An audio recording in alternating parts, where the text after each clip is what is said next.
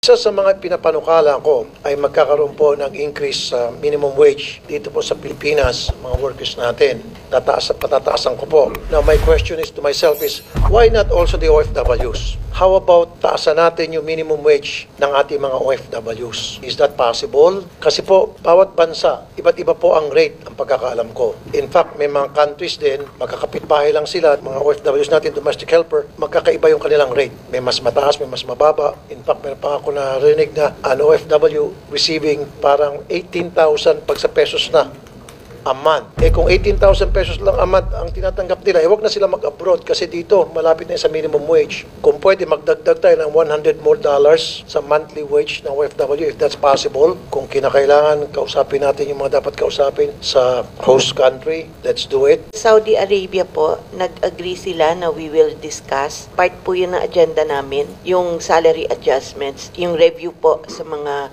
sweldo. May mga lugar po na yung gobyerno nila mismo ang nagsiset ng minimum wage. For example po, Hong Kong, Taiwan, meron silang wage setting mechanism for foreign workers. Yung iba naman po, through bilateral labor agreements ang uh, sineset. Yung sa domestic workers po, I think yun yung uh, due for review, nakapeg at 400 US dollars. Pero actually, sir, based on feedback, may mga employers willing to pay higher than that uh, ngayon. Para sa akin po, mababa po yun. Sana man lang 500 US dollars ang maging minimum standard across the board na para sa ating mga OFWs sa buong mundo. Yung pong sa minimum wage, as mentioned by the the secretary, for domestic workers, merong minimum wage set at 400 US dollars as far back as 2006. For other skill sets po, strictly, hindi po nagseset ng minimum wage for the other skill set other than the domestic workers. For the seafarers, meron din po, but that is an ILO minimum wage set as I recall mga 580 US dollars a month for the seafarer, able seaman's uh, minimum wage. And then, yun naman po sa host country, through our polos, they ensure na pasado sa minimum wage ng host country yung mga kontratang bine-verify nila. And then, dito po sa DMW, meron din po nagre-review to ensure na yung kontrata dumaan sa mga migrant workers offices that in turn ensure that the host country's minimum wage laws are complied with. Sabi niyo 2006 na implement itong $400 yung Yes po. minimum Yes po. wage. Yes po. We're talking about 16 years ago. May Yes. karapatan mo siguro yung mga OFWs na umasenso na makatikim sana sila ng salary increase. So dito nga sa Pilipinas, local, nagkaroon tayo ng salary increase uh, sa minimum wage. So how about sa ating mga OFWs na tinutunan natin mga bayani? So siguro, papush natin to 500 US dollars. At least man lang, minimum wage Yes po. across the board. Yes po, pwede po nating pag-aralan.